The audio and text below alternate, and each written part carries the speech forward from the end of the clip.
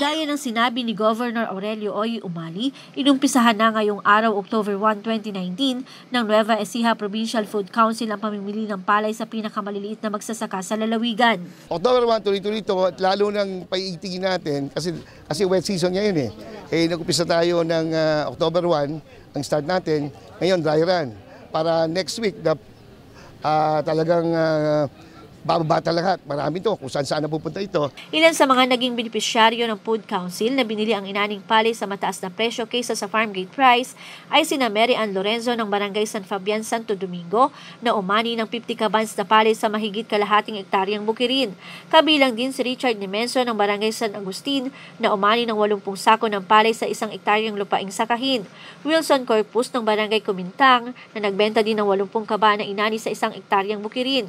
Kasama pa sina Bartolome Arsiaga, Ryan Alcantara at Efren Alcantara na kapwa mga taga-barangay Kabugaw na nakapagbenta ng kanilang inaning palay sa kalahating ektaryang lupang kanilang sinaka.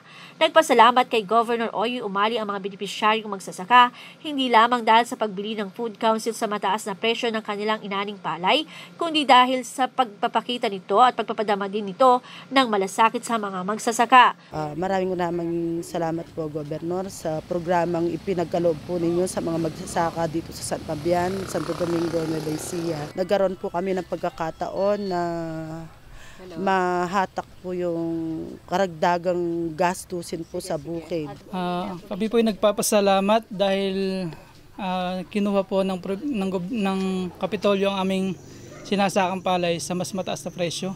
Ah, maraming salamat kay Gov. Oyi sa pagbili sa aming palay. Eh, ako ay natutuwa kaya dito nga sa in- inyo ko nga binigay yung aking palay dahil ah, mas mataas nga ang bili ninyo.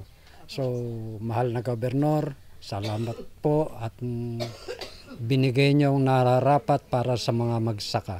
Eh, maganda pong tulong ito sa amin kasi unang-una po, ah, yung po kasing palay namin medyo mura po ngayon yung presyo eh.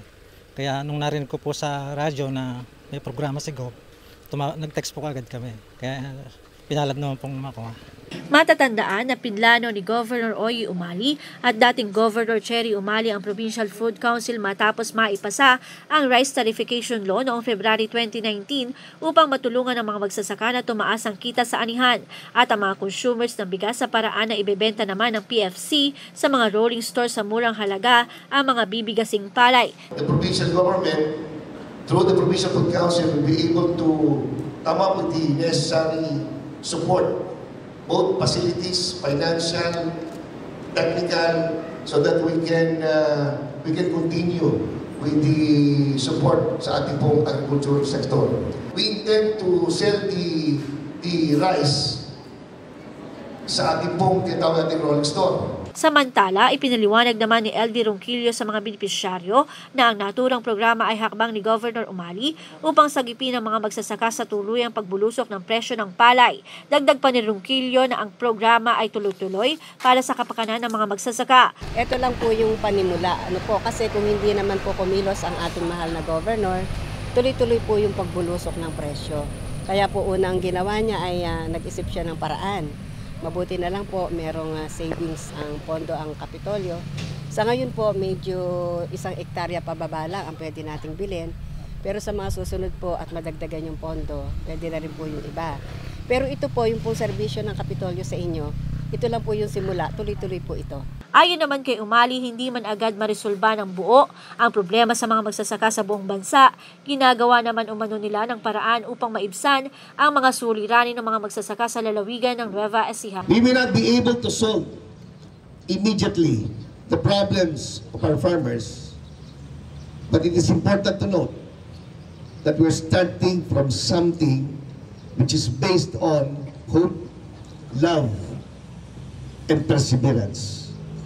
Let us not be weary, for the task is for the task is daunting. Napakahirap po. It's daunting, but there is always a way. And I know that God will lead the way. Maureen Pagaraga nag-uulat para sa DWNE Teleradyo ang inyong kakampi.